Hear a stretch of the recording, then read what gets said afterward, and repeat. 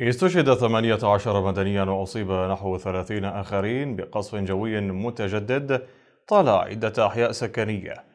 وأفاد مراسلنا أن غارة جوية ضاربت خلال الصباح مشفى ميداني في حي المعادي ما تسبب بخروج معظم أقسام المشفى عن العمل إضافة لأضرار مادية كبيرة في سيارات الإسعاف والمعدات الطبية داخل المشفى. طيران النظام وسع قصفه على أحياء مدينة حلب. حيث تعرضت أحياء المعادي والمرجى ومساكن الفردوس لغارات عدة استهدفت الأبنية السكنية كما قصفت الطائرات منطقة باب النصر في حلب القديمة ما أدى إلى استشهاد خمسة مدنيين ونشوب حرائق وأضرار مادية في الممتلكات. هنا حلب وما يحدث في هذه المدينة لم يسبق للتاريخ أن سجل مثله. طائرة حربية قصفت المشفى الميداني الذي يعالج فيه الحلبيين في حي المعادي صبيحة جمعة اليوم. الجرحى ومن يسعفهم ومن يداويهم هدفا للطائرات الحربية التي لا تفارق سماء المدينة المنكوبة. أضرار كبيرة أصابت سيارات الإسعاف والمعدات الطبية داخل أروقة المشفى. ناشطون إعلاميون وثقوا أيضا استهداف عشرين نقطة مدنية منذ الليلة الماضية. أحياء المعادي ومساكن الفردوس والكلاسة وغيرها تعرضت لقصف عنيف بالصواريخ الفراغية والبراميل المتفجرة. نحو 36 طائرة تناوبت على قصف مختلف أحياء المدينة خلال الثمان وأربعين ساعة الماضية. يصعب هنا تحديد حصيلة الشهداء النهائية مع ارتفاع أعداد المصابين.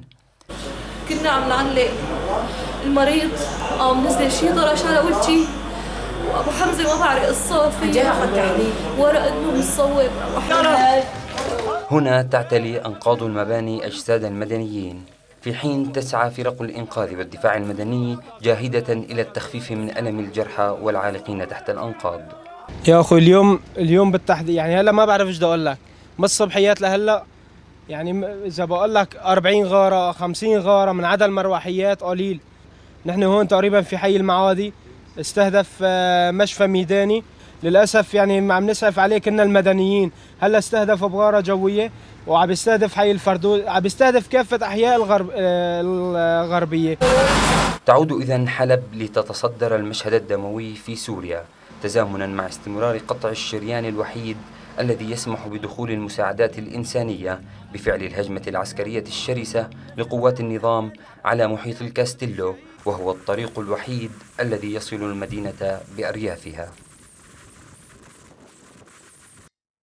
ولمزيد من التفاصيل ينضم إلينا عبر سكايب مراسلنا من حلب باسل أبو حمزة.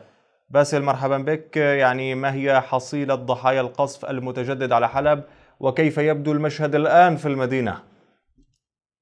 تحياتي لك أصلان. طبعا يوم دامي على يمر على مدينة حلب وأهالي مدينة حلب. طبعا أكثر من سبعون غارة جوية على أحياء المدينة عداك عن البراميل المتفجرة والألغام البحرية التي ترميها الطائرات المروحية.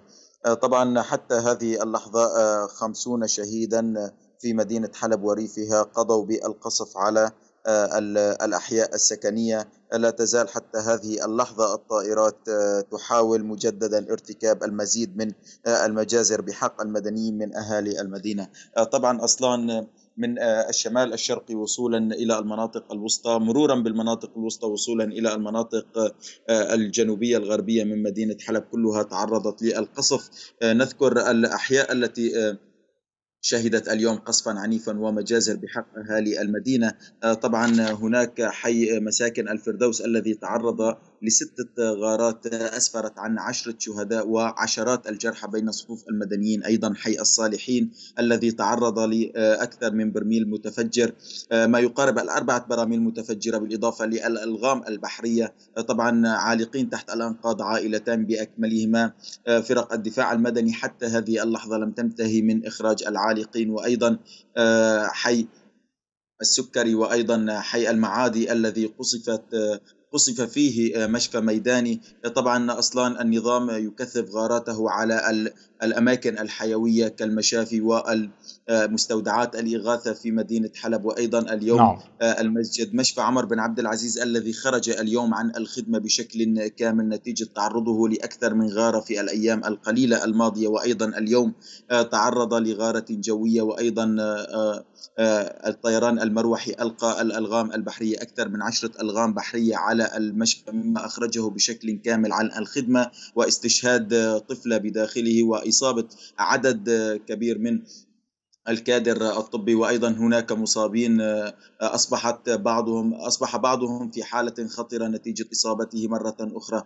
طبعا الحالة مأساوية هنا في مدينة حلب لا يمكن وصف هذا الواقع من القصف الجنوني الذي ينتهجه النظام وحلفائه الروس. طيب باسل حدثنا عن أوضاع الأهالي وكيف تبدو أسواق المدينة مع استمرار إغلاق طريق الكاستيلو. طبعا أصلا كما قلت لك في ظل هذا القصف العنيف على أحياء المدينة الشوارع فارغة من السكان لا يستطيع السكان النزول إلى الشوارع أو حتى الأسواق الفارغة هي بالأصل لا يوجد بها خضار أو أي شيء.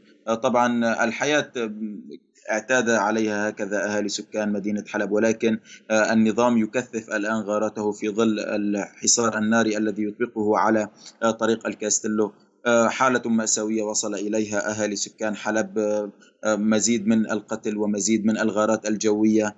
طبعا مزيد من الجرحى الذي يصعب خروجهم خارج إلى المشافي التركية أو المشافي المتواجدة بالريف، عجز كبير بالمشافي التي تتواجد في المدينة بسبب استهداف بعضها و خروج بعضها عن الخدمة وأيضا عدم استيعاب بعض بعض المشافي للأعداد الهائلة التي تصل نتيجة القصف طبعا عشرات الجرحى يوميا. نعم. طبعا الحالة مأساوية أصلا لا يمكن وصفها بالكلام.